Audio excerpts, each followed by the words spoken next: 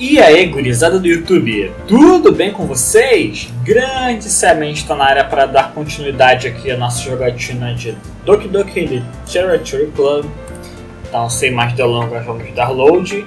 E agora nós mostraremos o nosso poema para a menina Yuri. Três pontinhos. Hum, ainda está com raiva de mim? Hã? Por desrespeitar a Natsuki ontem porque lendo esse poema, agora sei porque você ficou com raiva de mim. Porque você prefere a escrita dela do que a minha. Isso não é verdade. O que significa que quando eu desrespeitei ela, eu desrespeitei você também, não é? Ah, não. Yuri, você está exagerando um pouco. Como pode ser tão estúpida? Sempre deixo essas coisas acontecerem. Sempre que penso antes de falar, eu pareço estranha e antipática. Mas se eu falar sem pensar, as coisas que guardo dentro de mim saem e fazem as pessoas me odiarem. Então, por favor, não se force a ficar perto de mim. Sei que sei, sei que é isso que a Mônica quer, mas não é justo com você quando poderia estar aproveitando seu tempo com a Natsuki ou a Sayori. Yuri, por favor, Fica mais fácil para mim se você não expressar qualquer preocupação.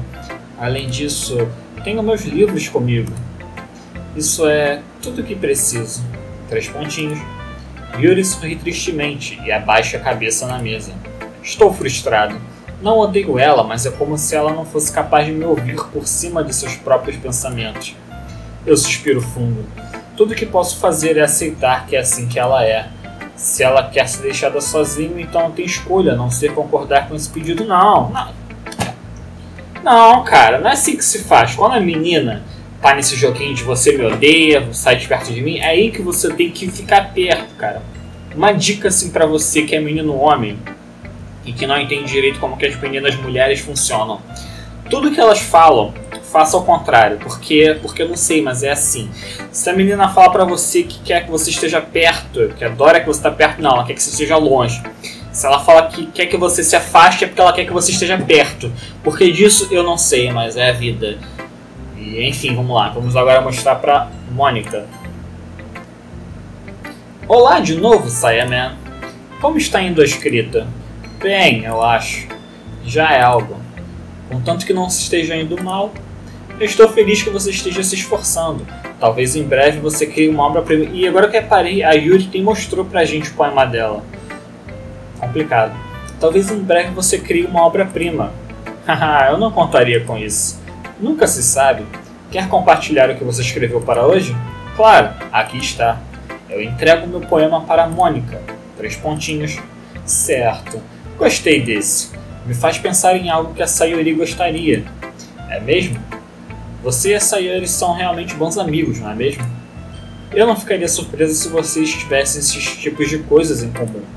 Ah, bem, nós talvez sejamos bons amigos, mas Sayori e eu, na verdade, somos bem diferentes. Hum, bem, talvez esse seja o caso, mas talvez existam também algumas similaridades que você não esperaria.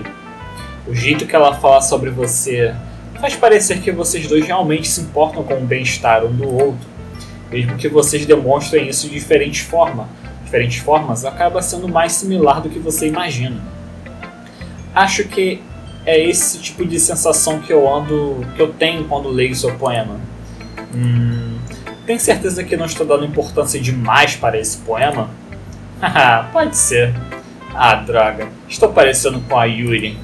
De qualquer forma, a escrita da Sayuri tem um tipo de pensamento gentil nela, posso dizer que ela gosta de explorar as emoções como felicidade e tristeza. Quem diria que alguém tão feliz iria gostar de coisas tristes também? É, isso é totalmente inesperado. Bem, cada um tem seu jeito, e você não deveria ter medo de experimentar um pouco também. Essa frase é meio errada, mas deixa pra lá. De qualquer forma, quer ler meu poema agora? Eu gostei de como esse ficou, então espero que você goste também. Tudo bem, Vamos dar uma olhada. Me salve. Começou bem. As cores, elas não param. Cores brilhantes e lindas, piscando, expandindo, perfurando. Vermelho, verde, azul. Uma infinita, uma infinita cacofonia, de um, de um, incompre, de um incompreensível barulho. O barulho, ele não para. Formas de onda violentas e irritantes, rangendo, chiando, perfurando, seno, cosseno, tangente, como brincar com um quadro de giz em um fonógrafo, como brincar com um vinil em uma massa de pizza, um poema sem fim de uma incompreensível. Me carregue. Pesado, não entendi direito, mas parece pesado. Hum, é ainda mais abstrato que o último, ah. Acho que é apenas a forma como escrevo. Sinto muito se você não gostou. Não, eu nunca disse isso. É apenas um tipo de coisa que nunca vi antes, eu acho. Eu meio que gosto de brincar com o meu espaço no papel. Escolher onde e como separar as palavras pode mudar completamente a atmosfera do poema. É quase como mágica, a forma como escrevo as linhas realmente curtas. Faz parecer que elas estão tentando falar sobre por sobre o barulho. Entendo. Mas ainda é difícil para mim dizer o que ele, do que ele se trata. Às vezes perguntar sobre o que é um poema não é a pergunta correta. Um poema pode ser tão abstrato quanto uma expressão física de um sentimento, ou uma conversa com o leitor. Então, colocando dessa forma, nem todos os poemas são sobre algo. De qualquer forma, aqui está a dica da escrita do dia da Mônica. Algumas vezes você vai se encontrar diante de uma decisão difícil. Quando isso acontecer, não esqueça de salvar seu jogo. Ó, a dica, hein? 10 barra 10, muito boa. Nunca se sabe quando você irá mudar de ideia. Ou quando algo inesperado pode acontecer. Espera, essa dica é mesmo sobre escrita? Do que estou falando? Esse é meu conselho de hoje. Obrigada por me ouvir. Que aleatório. Tudo bem, pessoal? Já terminamos de ler os poemas uns dos outros, certo? Eu tenho algo extra planejado para hoje, então se todos puderem vir se sentar na frente da sala. Isso é sobre o festival? Bem, mais ou menos. Uh, nós temos mesmo que fazer algo para o festival? Não vamos conseguir fazer algo legal em apenas alguns dias. Vamos só acabar nos envergonhando em vez de conseguirmos novos membros. Essa também é uma preocupação minha. Eu realmente não me saio bem com preparativos de última hora não se preocupem, vamos fazer algo simples, tudo bem? Vamos precisar de poucas decorações. Sayori esteve trabalhando nos cartazes e eu criei alguns panfletos que podem entregar durante o que podemos entregar durante o evento. Tudo bem, isso é ótimo. Mas ainda não sabemos o que realmente iremos fazer para o evento. Ah, sinto muito. Achei que já tinham ouvido sobre isso. Nós vamos representar. Representar? Re uh, Mônica. É. Vamos fazer uma representação de poesia. Cada uma de nós vai escolher um poema para recitar durante o evento. Mas a parte legal é: vamos deixar qualquer um vir e recitar poemas também. Sayori está colocando isso em todos os cartazes, no caso de alguém quiser se preparar antes da hora. Hehehe. Sayori, a qual estava colorindo o cartaz, o ergue para que possamos ver. Está brincando comigo, Mônica? Você já não, você já não começou a espalhar esses cartazes, não é mesmo? Ah, bem, já sim. Você realmente acha que é uma ideia ruim?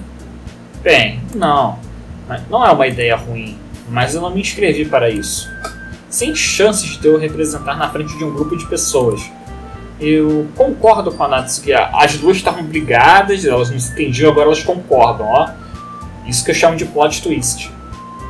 Eu jamais poderia, em minha vida, fazer algo assim. Imaginando isso, Yuri sacode a cabeça com medo. Pessoal, não, Sayori. Eu entendo porque elas se sentem assim.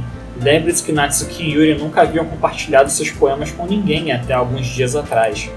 É perder, é perder muito que elas recitem seus poemas em voz alta para uma sala cheia de pessoas.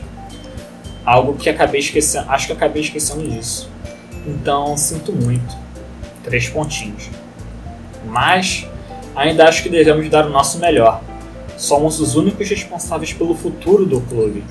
Se começarmos o evento e cada um de nós fizer uma boa representação, isso irá inspirar outros a fazer o mesmo. E quanto mais pessoas representarem, melhor poderemos mostrar a todos do que se trata a literatura.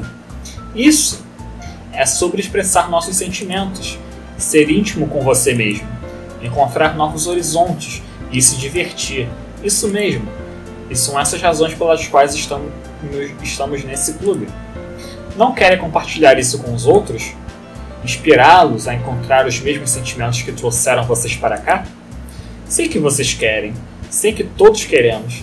E se, e se tudo que precisamos é ficar na frente da sala por dois minutos e recitar um poema, então sei que vocês podem fazer isso. Olha só, bom trabalho de líder encorajando as pessoas. Três pontinhos, três pontinhos. Natsuki e Yuri permanecem quietas. Sayori parece preocupada. Acho que não tem escolha. Concordo.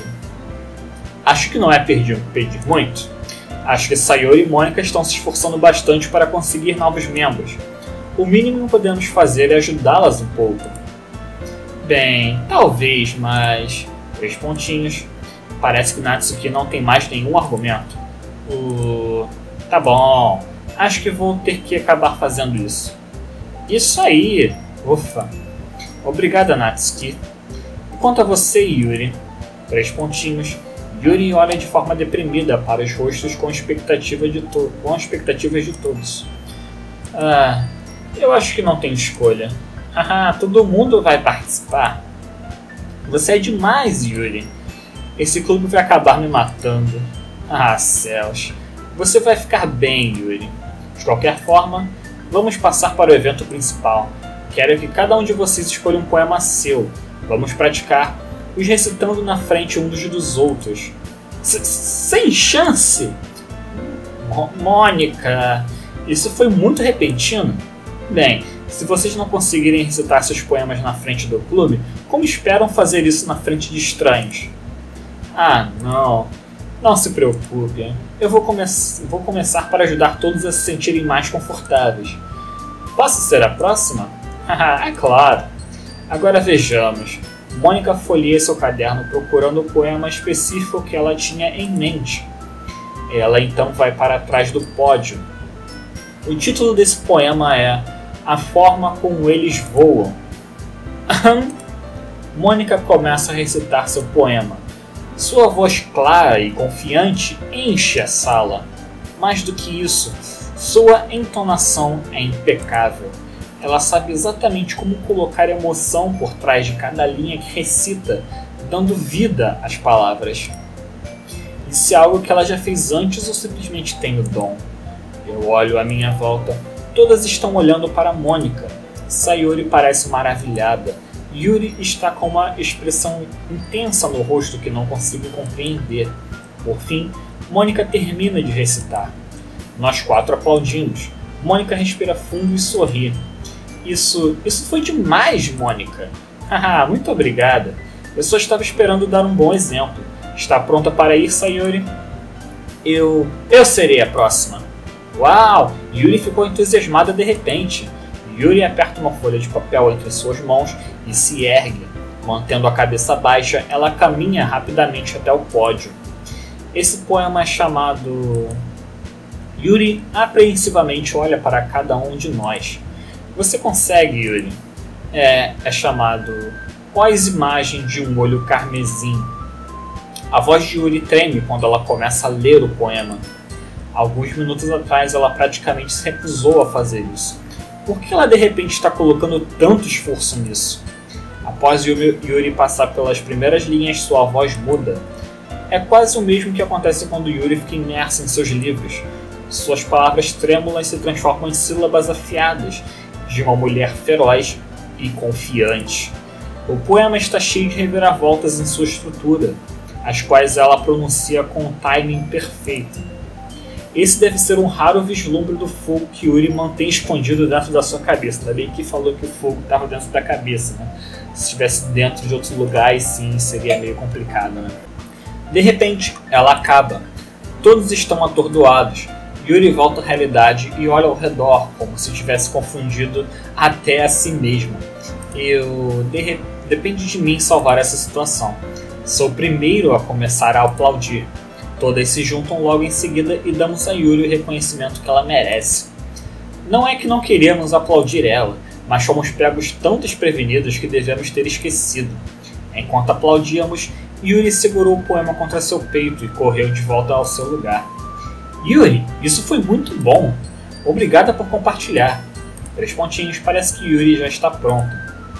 Certo, acho que sou a próxima então. Sayori pula da cadeira e caminha animadamente até o pódio. Esse é chamado de Meu Prado. Ah, sinto muito, acabei rindo. É, por que ela riu? Não sei, mas enfim, Sayori. É bem mais difícil do que pensei. Como vocês fizeram isso com tanta facilidade? Ah, tente não pensar nisso como se estivesse recitando para outras pessoas. Imagine que está recitando para si mesma, como na frente do espelho ou em sua cabeça. É seu poema, então sairá melhor dessa forma. Certo, certo. Tudo bem então. Sayori começa a recitar seu poema. De alguma forma, parece que sua voz suave combinou perfeitamente. O poema não é tão alegre como Sayori. É sereno e triste. Se eu fosse ler isso no papel, provavelmente não daria muita importância, mas ouvindo ele na voz de Sayori, quase dá um novo significado. Talvez seja isso que Sayori queira dizer quando falou que gostava dos meus poemas. É como se eu alcançasse um lugar mais profundo de alguém que eu acreditava conhecer completamente. Sayori termina e nós aplaudimos. Eu consegui! Bom trabalho, Sayori!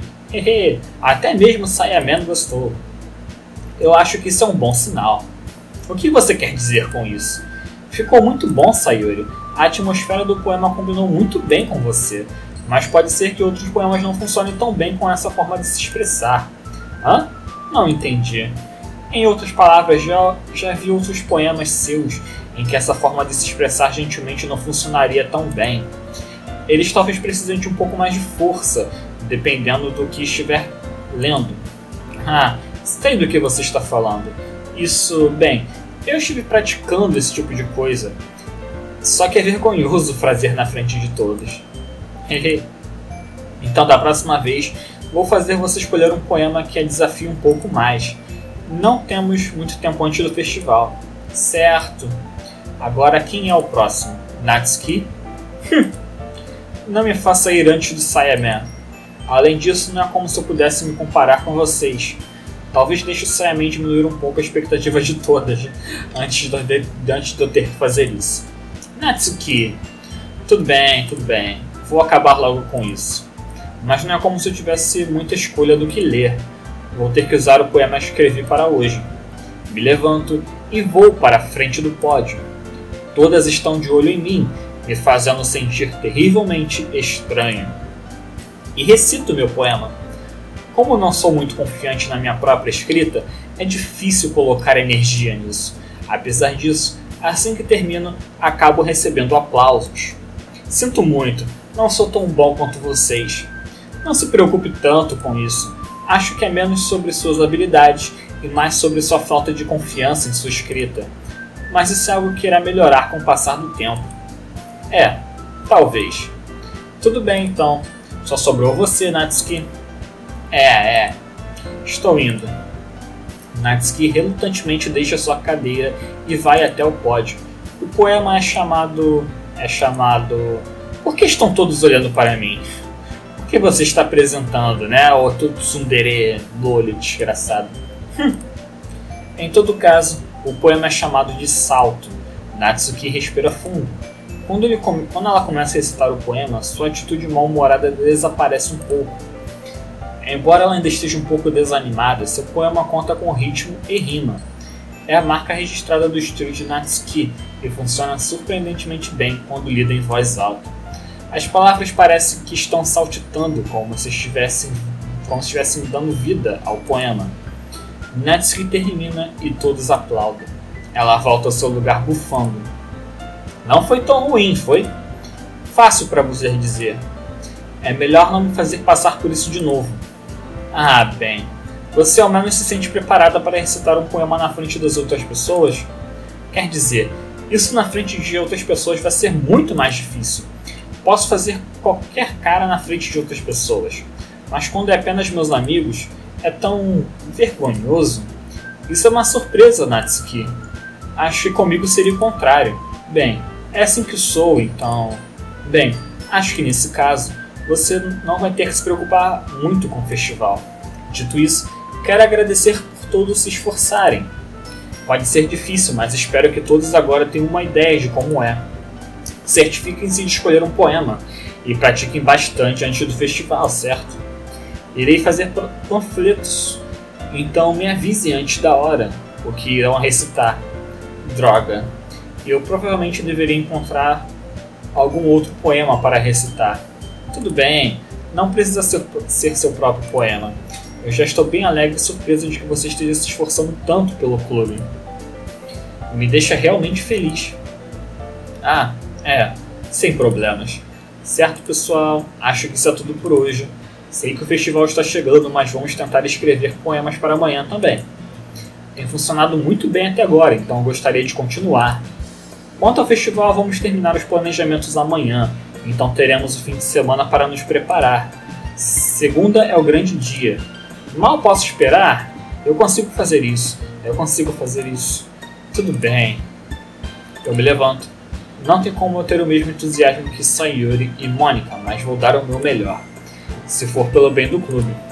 E para impressionar a Mônica. Então terei que fazer o meu melhor. Pronta para ir, Sayuri? Sim! Olha vocês dois, sempre indo juntos para casa. É adorável, não é mesmo? Hehe. Caramba, pessoal. Não exagerem, mas deve ser legal. Bem. Ah, como eu devo responder a isso? Tudo bem, Sayaman, não precisa dizer nada. Tanto faz, vamos logo. Eu novamente caminho de volta para casa com Sayori. Mesmo que tenham se passado apenas alguns dias, muitas coisas já mudaram. Mas hoje, Sayori está mais quieta do que o normal no caminho de casa. Hey, Sayori! Três pontinhos. Desculpa, eu estava viajando. Ah, não me diga. Hum, eu estava pensando sobre algo de mais cedo. Eu gosto como nós. Quero dizer. Sayuri se perde com as suas palavras. Então, vamos dizer que um dia Yuri pede para ir caminhando para casa com você. Hã? O que você faria? Que tipo de pergunta é essa? Você está meio que me encurralando aqui.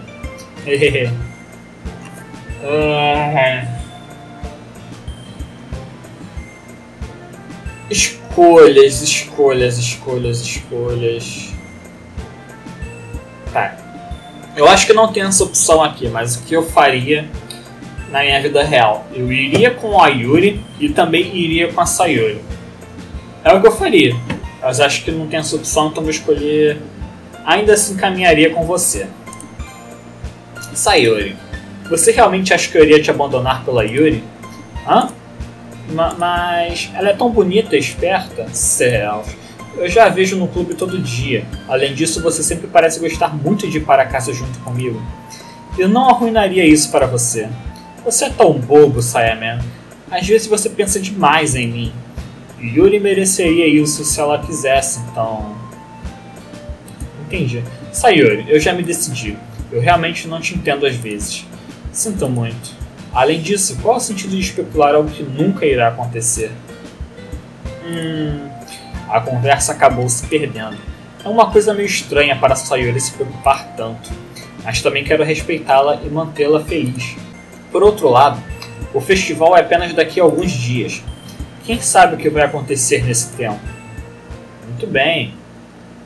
E agora é aquela parte que nós temos que fazer o nosso poema. Hum. Vou escolher aqui Vivaz. Eternidade, Camisola, Precioso, Chocolate. Pô, é difícil isso aqui, hein? Puf! Ah, tem maravilhoso, lembrar, maravilhoso. Bolejizada, coelho. Sempre tem coelho, né? Eu sempre vou escolher o coelho, não tem jeito. Entropia. Vou ter que escolher entropia porque é muito minha cara. Calor, horror, batom, apaixonado, exilado, escultura, escassez, gerando. Nossa, que difícil, hein? Escolher apaixonado. Especial, deleite, esperar, pranto, alegria, escuro, voar. Meias. Que? Meias. Vamos de especial. Duck Duck. Duck Duck sempre parece, né? Papai, Fones, Aventura, Duck Duck.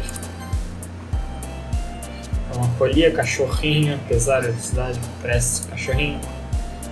Sentimento, desorientada, baunilha, vergonha. Boba, quero boba. Mordiscar, perdoar, fofa. Voo de fofa. Meiga, paisagem, bidor, retrato, pulso, ferrido. Surpreendente. Zinca, escondido, massacre. Cara, é muito aleatório essas palavras, mas enfim. Sorriso. Discernimento. Vou escolher discernimento porque eu não sei. Gostei da palavra. No desastre, vitalidade, tudo persistente. Divertir-se, bonitinha. Calma aí. Vou escolher amor.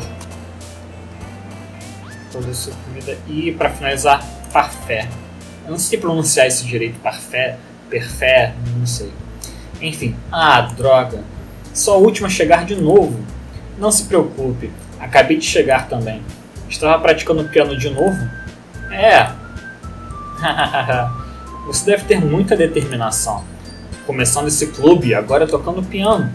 Bem, talvez não determinação, só fazer um parêntese que eu esqueci de fazer né, na hora de escolher as palavras. Eu me pergunto seriamente como é que funciona aquilo. Sei lá, deve ter tipo.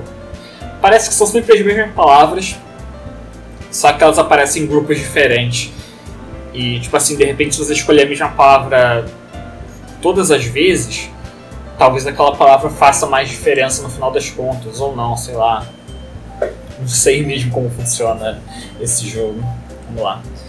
Bem, talvez não determinação, mas acho que paixão. Lembre-se de que o clube não estaria aqui se não fosse por todos vocês. Eu também estou super feliz que todos estão dispostos a ajudar no festival. Ah, mal posso esperar pelo festival. Vai ser ótimo. Hã? Você não estava reclamando sobre ele ontem, Natsuki? Bem, é. Não estou falando sobre nossa parte do festival, mas um dia todo de escola onde podemos nos divertir e comer todos os tipos de comidas deliciosas. Você está se parecendo um pouco com a Sayuri. Mônica, elas normalmente têm lulas fritas? Eles normalmente têm lulas fritas? Lula? Essa é uma coisa bem específica para se querer. Ah, qual é? Está me dizendo que não gosta de Lula?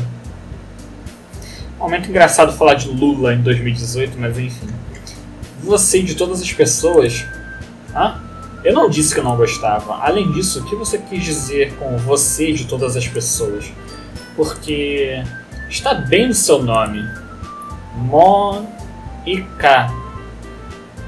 provavelmente só faz sentido em japonês, mesmo que eu estude japonês agora, eu não sei como é que é Lula em inglês. O editor, coloca aí como é que é Lula em japonês, por favor. Hã? Não é assim que se pronuncia meu nome. Além disso, essa piada não faz nenhum sentido na, não faz sentido nenhum na tradução. Ó, tradução 10 barra 10, muito bom. Interrogação, mas... Ah, esqueça. Vamos apenas nos focar no nosso evento por hora. Certo, certo. A sua reação nem foi tão divertida quanto a da Yuri ou da Sayuri. Com licença, falando nisso, onde está Sayuri? Ah, aí está você. Sayuri está sentada na mesa no canto da sala, olhando para o nada. Eu ando até ela. Ei, Sayuri. Eu balanço minha mão na frente do rosto dela. Hã? Você está viajando de novo. Ah. Desculpa. Não se preocupe comigo.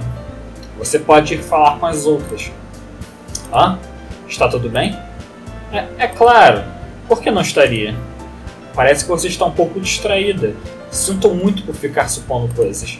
Nossa, você se preocupa demais comigo. Estou bem, não está vendo? Sayori me mostra um grande sorriso. Não me deixe distraí-lo de se divertir com as outras. É, tudo bem. Se você diz. Já falei que isso não é a escolha certa, mas tudo bem. Eu olho com preocupação para Sayuri antes de voltar para as outras, mas a conversa já havia acabado, tendo todas voltado às suas atividades habituais. Talvez eu deva perguntar a Mônica se ela notou alguma coisa na Sayuri recentemente, já que elas têm se preparado para o festival devem ter passado muito tempo juntas. Eu timidamente me aproximo de Mônica, a qual está folheando alguns papéis em sua mesa. Saia Man, tudo bem? Ei, isso pode parecer um pouco estranho, mas você notou algo de estranho com a Sayori recentemente? Algo de estranho nela? De que forma você quer dizer? Talvez eu esteja exagerando um pouco, mas ela parece meio desanimada hoje. Hã? Você acha? Não posso dizer que notei algo diferente nela. Mônica espia através da sala para Sayori, a qual está arrastando uma borracha pela mesa. Talvez ela tenha algo em mente que a esteja incomodando, mas estou surpreso de que não seja eu quem esteja te perguntando isso, Sayana. Você com certeza conhece ela bem melhor do que eu. É, mas ela nunca foi assim. Ela sempre falou comigo a respeito das coisas que a incomodavam. Mas dessa vez, quando perguntei, ela foi totalmente evasiva. Sinto muito, sei que não é problema seu. Só queria perguntar se você sabia de algo, então vou deixar pra lá. Não, não, é importante para mim também. Quer dizer, também sou amiga dela. Eu também não me importo com o bem-estar dos membros do meu clube. Talvez eu tente falar com ela. Hã? Tem certeza disso? Ela parecia querer ficar sozinha. Tem certeza? Talvez ela apenas tenha dificuldade em falar com o culpado. Com o culpado. Culpado? O que você quer dizer com isso? Estou querendo dizer que talvez a coisa que ela tenha em mente seja você, Sayama. Bem. Eu provavelmente não deveria falar muito, mas. Sayori fala mais sobre você do que qualquer outra coisa, sabia? Hã? Ela tem estado muito mais feliz desde que você se juntou ao clube. É como se uma luz extra tivesse sido acesa dentro dela. O quê? Sem chance. Sayori é sempre assim. Ela sempre foi cheia de energia. Não é diferente de como sempre foi. Você é mesmo engraçado, Sayaman. Já parou para pensar que talvez você sempre a veja tão alegre, porque é assim que ela é quando está perto de você? Três pontinhos. Ah, falei demais. Sinto muito. O que eu sei, afinal de contas? Eu não queria tirar conclusões precipitadas, então só esqueço o que acabei de dizer. Vou tentar falar com ela, então não fique pensando muito nisso por enquanto. Ah, tudo bem. Mônica dá um sorriso. Sei que ela disse para eu esquecer, mas sei que não vou ser capaz de tirar as palavras dela da minha cabeça. Mônica se levanta de sua mesa e atravessa a sala até onde Sayori está sentada. Eu vejo ela se ajoelhar ao lado da Sayori e gentilmente falar com ela. Mas ela está mantendo sua voz tão baixa que não consigo ouvi-la daqui. Eu suspiro e me sento. Sei que Sayori me disse para não me preocupar com ela e para me divertir com as outras, mas é impossível de fazer quando ela está agindo dessa forma exatamente o quanto me importo com ela para deixar isso pesar tanto em mim. Agora parece que sou eu que estou achando estranho, mas não tem nada que eu possa fazer além de esperar pela Mônica. Ei, você! Hã? Olho para cima e vejo Natsuki ao meu lado. Vai apenas ficar aí sentado olhando para o nada? Não temos muito tempo, então. Ah, sinto muito. Não queria fazer você se preocupar. Não, não estou preocupada. Eu só estava. Natsuki olha para baixo. Ela está segurando um volume de mangá em sua mão. É mesmo. O imprevisto acabou surgindo, mas podemos começar agora. Não vou deixar você esperando. Céus. Agora você está me fazendo sentir como uma babaca. Se algo está te incomodando, então pode me dizer para deixá-lo sozinho, que eu irei. Quer dizer, supondo que você não queira falar sobre isso. Ela praticamente sussurrou a última parte. Nah, eu provavelmente estou fazendo o problema parecer maior do que realmente é. Eu só estava pensando na Sayori. Sayori? Pensando nela? É, ela parece bem desanimada hoje, mas ela não quis admitir isso.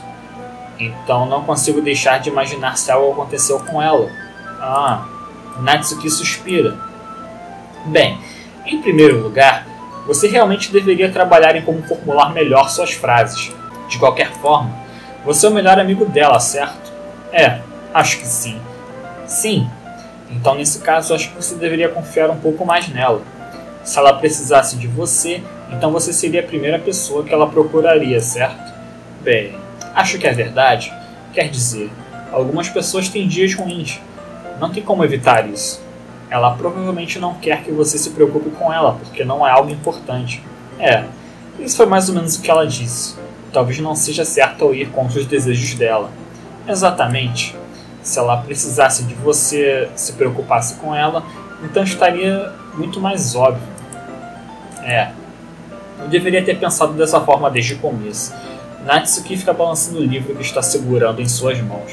Ela, ela significa muito para você, não é? Não entenda errado. Nós temos sido amigos há muito tempo. É normal ficar preocupado com seus amigos. Quero dizer, você estava preocupada comigo, então. Eu não estava, dizer. Céus. Se você está bem, então vamos começar logo.